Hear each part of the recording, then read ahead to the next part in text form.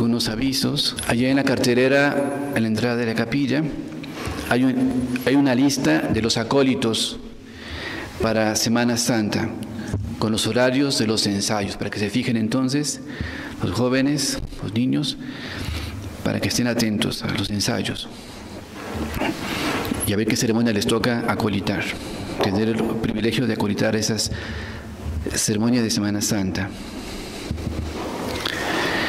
El próximo domingo solo habrá un padre en la misa para que aprovechen para confesarse durante la semana.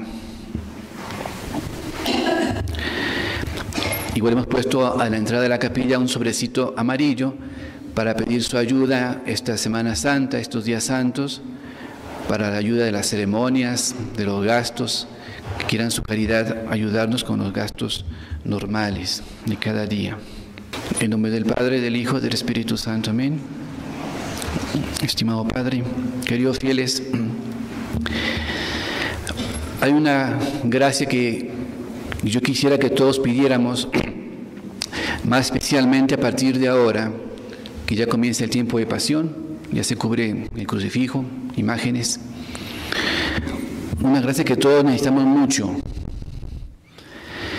A qué me refiero es pedir a Dios la gracia del dolor, tener dolor, dolor de nuestros pecados.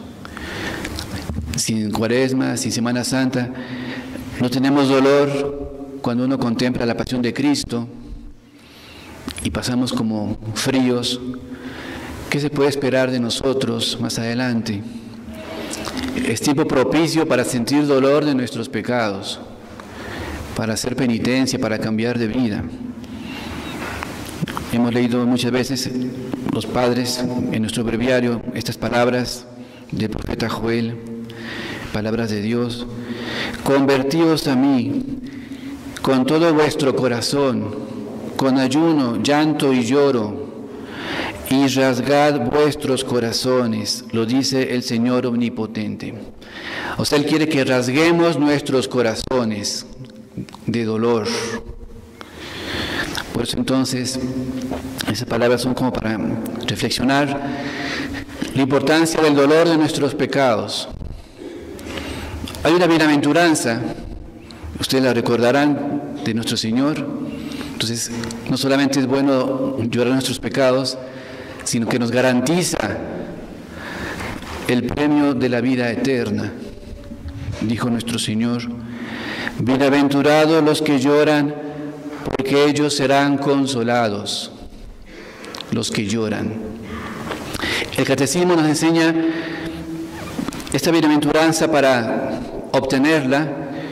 Bueno, llorar. ¿Quiénes son los que lloran para poder ser consolados? Llorar, llorar de qué? Dice el catecismo estas, estas penas siguientes. Tener pena en el corazón por cosas relacionadas con Dios.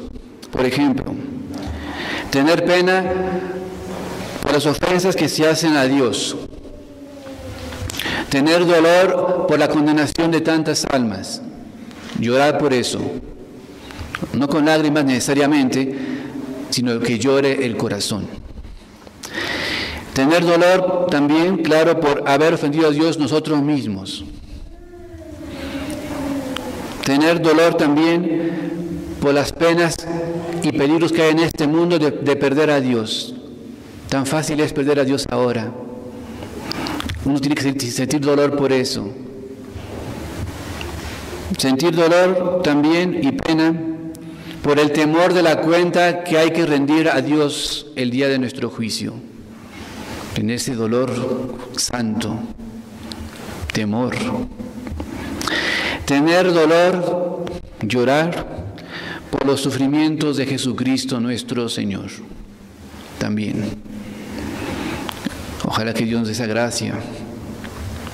También tener dolor por las penas que sufre uno en esta vida, en este valle de lágrimas, pero que van a ser buenas para conseguir la paciencia. Bueno, son los que lloran, todo tipo de, de penas, si uno la sabe llevar bien, nos van a alcanzar la gracia del consuelo eterno, porque ellos serán consolados. Dios enjugará toda lágrima de los ojos y ya no existirá más el llanto, el lloro, el dolor allá en el reino de los cielos.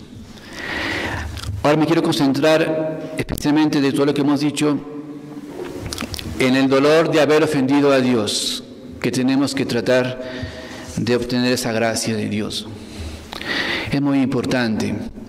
¿Cuántos santos pasaron llorando, por decir así, toda su vida, sus pecados? San Pedro, María Magdalena, cuántos otros. Hoy quiero contarles de uno. Alonso Rodríguez. Él hasta la edad de 31 años, 32, estaba envuelto en las cosas del mundo. Hasta esa edad recién Dios le dio la gracia de conocer más su vida de pecados. Y por lo tanto al ver más sus pecados, él comenzó a sentir dolor de ellos. Y a llorar, no necesariamente con lágrimas, pero sí. Por tres años sintió esa, esa gracia de Dios.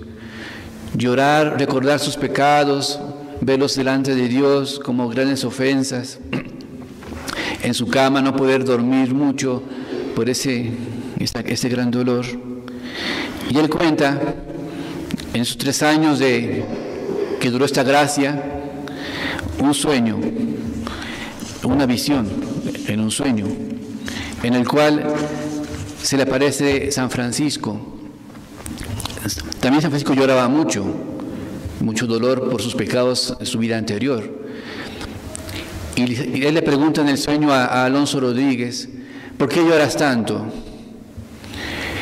Y le dice Alonso, Padre Francisco de Asís, ¿cómo no quieres que llore si un solo pecado venial cometido contra la majestad divina es digno de llorarse toda la vida? Un solo pecado venial. Ven ese grado que alcanzó de dolor. Cuando un solo, una sola mentira, una sola palabra ociosa que ofende a Dios, uno ya tiene ese dolor del alma. Si uno no tiene ahora hay que pedirlo. Incluso el pecado venial. Y se fue la visión, pero ese fue un aliento para él para seguir llorando sus pecados, Alonso Rodríguez. Cuando él iba al Santísimo, le pedía a Dios, Señor, si tú sabes que te voy a volver a ofender, aunque sea con un pecado venial, mándame antes la muerte, mándame la muerte. Entonces tuvo esa, gran contrición que le mereció de Dios consuelo, un consuelo. No solo Dios le va a consolar después a este Alonso Rodríguez que llegó a ser San Alonso Rodríguez, lo consolará después seguramente en el cielo, sino se adelantó a consolarlo en la tierra. ¿De qué manera lo consoló? es la bienaventuranza, porque ellos serán consolados incluso en esta tierra, en cierta manera. Cuenta su consuelo, dos consuelos que tuvo Alonso Rodríguez. Está llorando sus pecados una noche y oyó que Dios le decía las palabras que muchas veces él dijo a pecadores, tus pecados te son perdonados. Tres veces, tus pecados te son perdonados. Y sentía gran alegría a escuchar esa voz de Dios, que todo lo que había llorado, llorado, llorado, le consiguió ya ese perdón de sus pecados. Y sintió ya una cierta paz.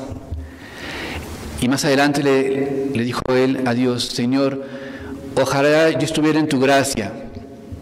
O sea, estar en gracia santificante, tener la gracia de Dios. Uno no tiene la seguridad a veces si la tiene o no la tiene tiene ya indicios cuando se confesó.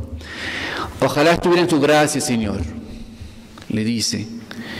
Y oye una voz, un consuelo divino. Ya lo estás. Estás en mi gracia y lo estarás por siempre. Así le dijo Dios. Qué gran consuelo, imagínense escuchar de Dios que dice, estarás siempre en mi gracia.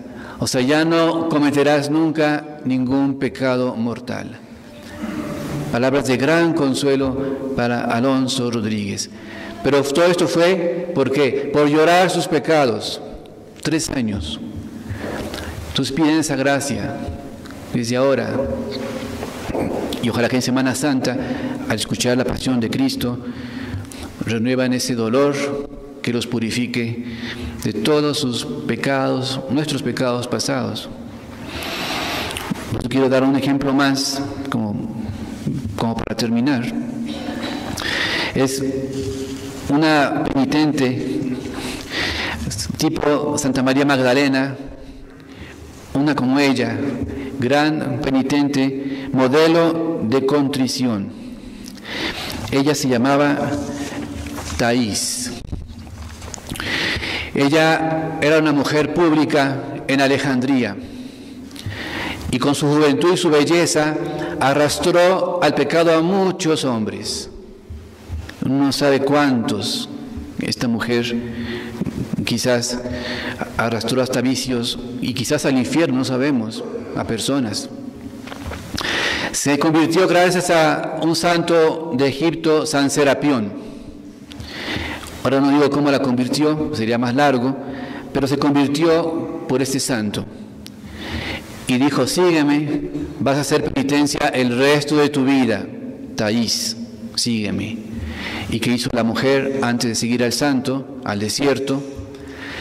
En una plaza pública quemó sus vestidos, sus alhajas, sus muebles, precio del pecado.